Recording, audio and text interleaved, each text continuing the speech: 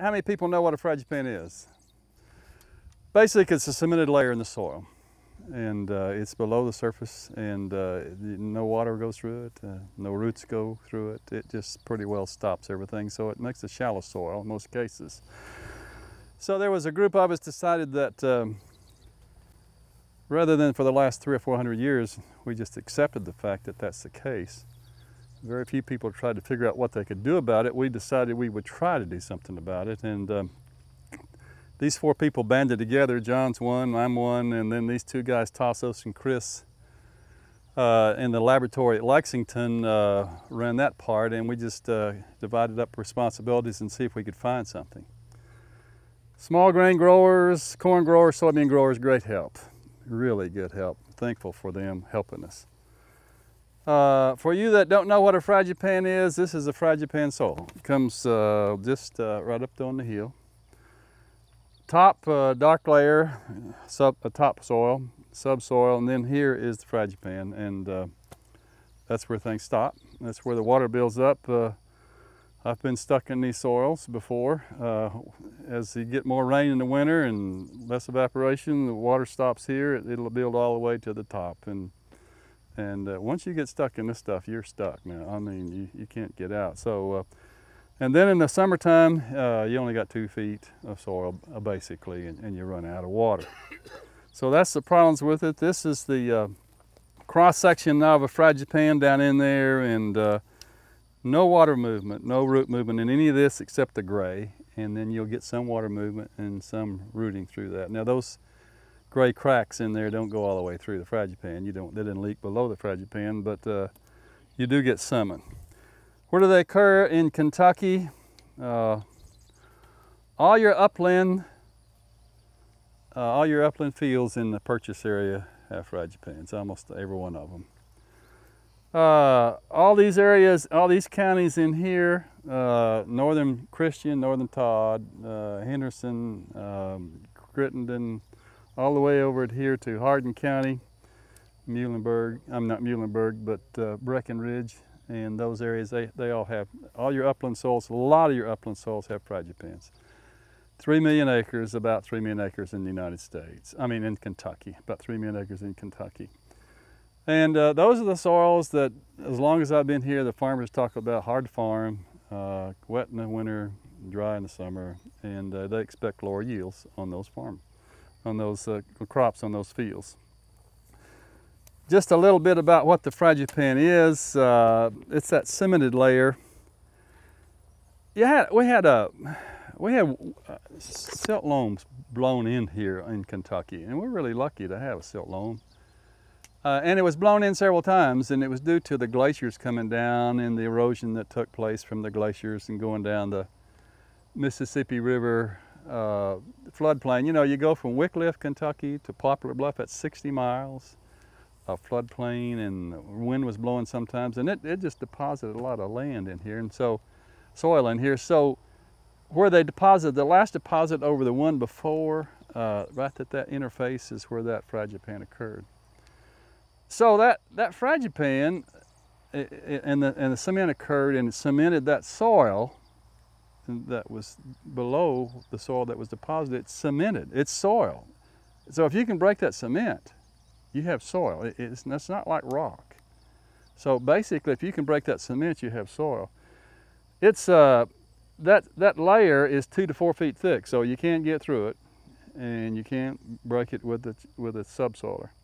It's cemented by aluminum silicates. It's on the average 20, 24 inches to the top of the fragipan. And we talk about roots uh, and stopping and limited water availability and wetness, but uh, if you look at that uh, NRCS estimates on yields, uh, about 20-25% reduction on those soils compared to these limestone type soils. So it's a significant reduction in yield. It not only uh, occurs in Kentucky, but it occurs in most of the eastern, some, this is, an, I think this is exaggerated, but anyway, it occurs, occurs in most of the eastern part of the United States. So it's, it's a pretty big problem in the United States. So how did we tackle it?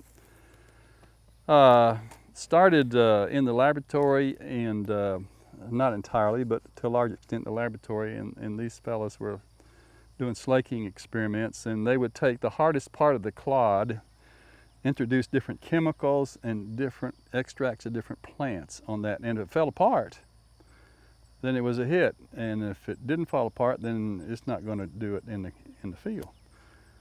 Found one plant uh, I mean, we, we tested corn, soybeans, uh, wheat, rye, and about every, not every, but uh, many of the cover crops that could be used. There was only one plant that we found that will that has the chemistry to break this thing apart.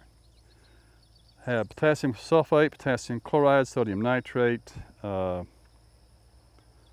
I'm missing one, John. Sodium fluoride.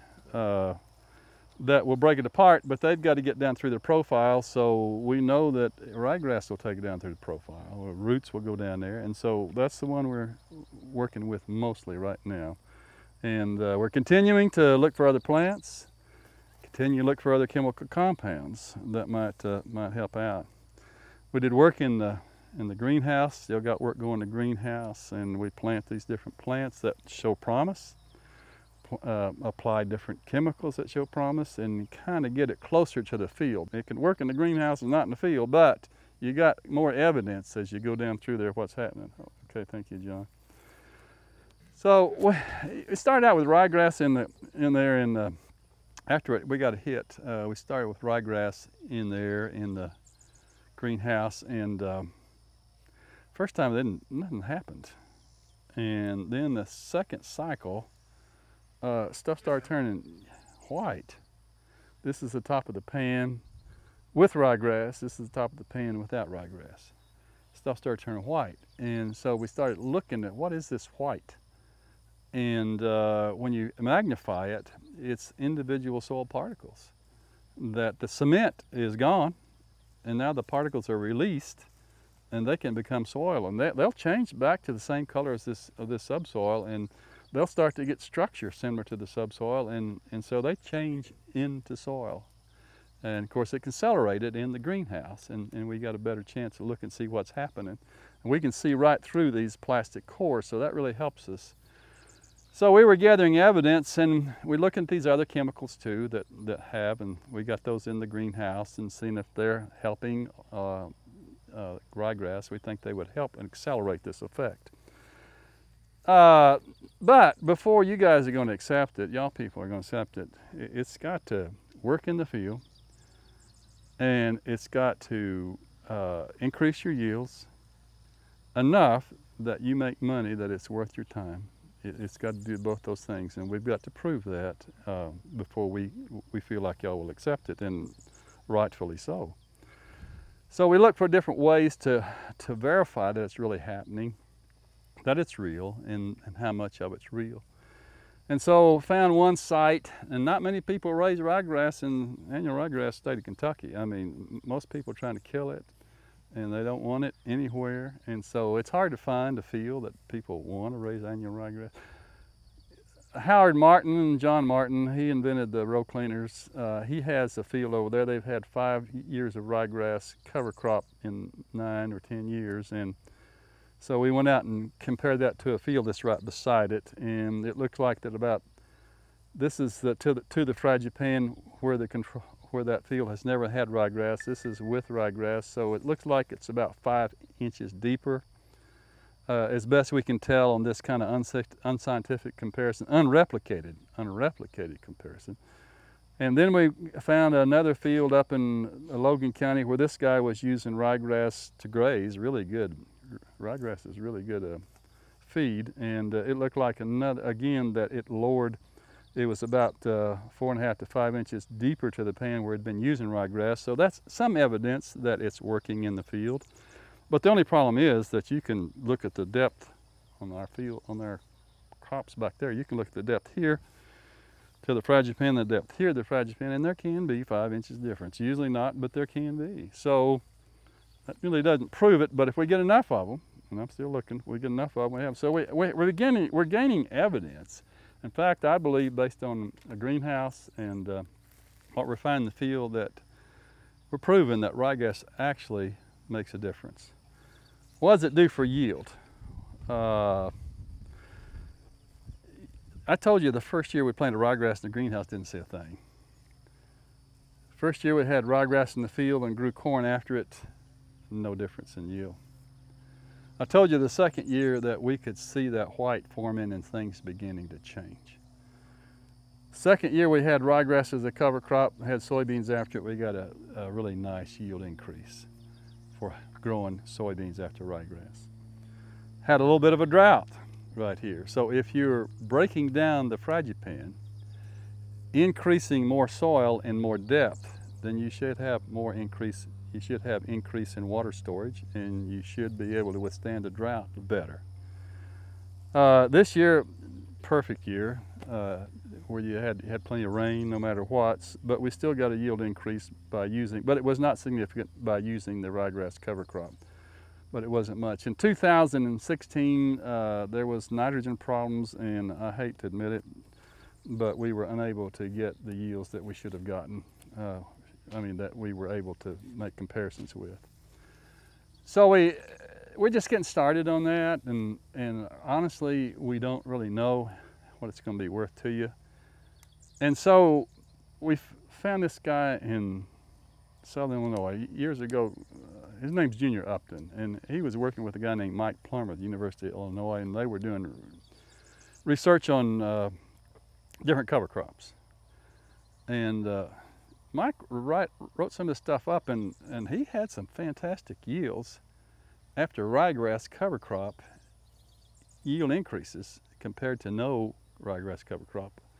Uh, you know, I, I don't believe that. I can't explain it. And uh, I've never seen any yields like that, increases like that. So I just dismissed it. And uh, after we started this research, and that was a number of years before we started the research, after we started the research, I remember that and we threw ryegrass in the mix of the things that we were doing. And, and uh, so I called him up and he said, yeah, he says, yeah, we did. And uh, come on up. And so we, we went on up there and John was with us there the second time we went up and where he had, this guy had 15 years of annual ryegrass as a cover crop and then grew corn after it. And we went in there and, and they had these cores and compared to a little roadway right here where they just had bluegrass and took that and boy, there was a big difference in what you could see and described. And, and uh, he said, I'm getting better yields. And I said, well, can you send me the yields? And I said, yeah. So he, he sent them to me. And these red line, and I was hoping to see something like this, you know.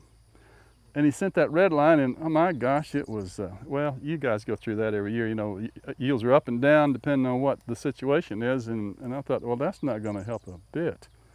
And so I compared it to the average yields of the state of, I mean, state of Hamilton County, to the, to the yield, uh, average corn yields of Hamilton County uh, on the same year and uh, plotted that into blue and it come a little bit clear. Thank you, John. And then, uh, so then to, to look at it a little bit better, we set, uh, we looked at the difference between Upton's yields and uh, average fields of Hamilton County. The average yields of Hamilton County included fragipan soils, no fragipan soils, low hill ground, low ground, one variety, two variety, 20, 40 different, you know what I'm trying to say. I mean, we're, we're, it's, so I don't know uh, how good it is, but I think it's a, a, pretty good indication to some extent what happened. So we subtract the difference, and so that means that the Hamilton County, Illinois yields become zero.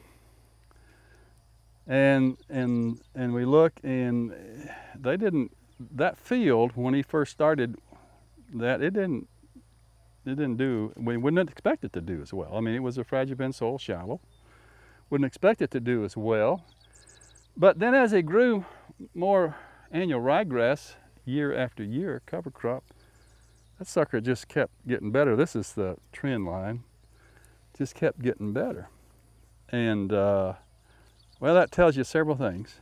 That, number one, it tells you that it's a continuous effect. You only get so much chemical with each time you grow ryegrass to break down the fragipan. You only get so much. And uh, as you add more, you get more breakdown. And the other thing is, it showed that he started 15 bushels on the average below the county average and wound up 40 bushels above. That's a 40% increase. Uh, that's huge. I don't know how representative that would be of us in Kentucky. Uh, I don't know. But even if it's half that, that's pretty doggone good. And so uh, we're really hoping that we can verify the fact that we get something at least half that, and, and that's what we're looking at. We, we've got to get several more years. We've got to get up in here somewhere on our research to make sure that we know what we're doing. And, and, and but if when, when we get close to that and we feel like we know what we're doing, uh, we're going to write this thing up, make it available to the public, and we're going to start having field days and things like that to, because uh, it's really pretty big. Uh, this is uh, this is the amount of money difference between him raising that ryegrass cover crop over 15 years and not raising it. Uh, or, or, or other words, this is a county average. And he starts out 15, 20 bushels below, and it and we figured $4 corn. Now that's a pretty safe estimate, $4 corn, I think. And figured $36.50 to plant it and to kill it. So we take that take that off every year from cost of ryegrass, growing ryegrass. So he starts out losing twenty dollars the first year. Uh, uh, actually loses 36, but the trend line gives us 20. So it's, you know, the calculations aren't exactly right, but I mean, they're right, but the trend line messes it up. But anyway, uh, then he starts to increase yields and he starts to finally after two or three years make a little money. But when you figure the first five years losing some and making some he makes a little bit breaks even like first five years. So you make you make a little bit. But then as that soil gets deeper stores more water then the next five years add those five years together what's the return? $400 almost $800 between the 10th and the 15th year. Add all these up all three of these up he over not raising annual ryegrass on this fragipan soil uh, compared to raising it, it's it's you know twelve hundred dollars an acre.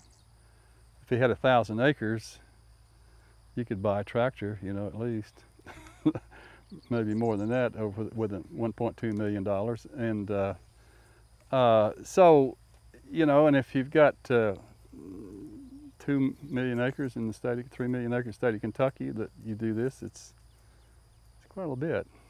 50 million acres in the United States. Um, so I, I, think it's, it's, if you have fragipan soils, uh, it's something significant to, uh, to think about and to use. Anybody got any questions?